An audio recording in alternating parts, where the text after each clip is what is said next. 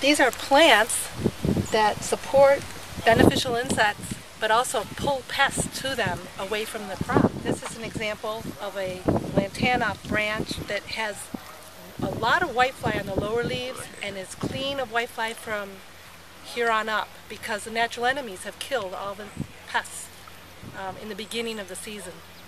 And then the plant has produced natural enemies for the rest of the season to control the pests. Got four guardian plants in this.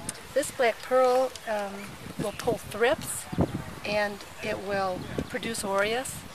Marigolds is a very, very important thrips control agent. It pulls thrips away from many, many crops, produces Orius. Lantana pulls whitefly and produces whitefly parasites.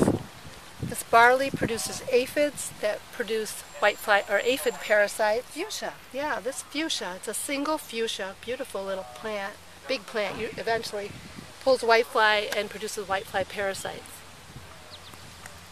Cool.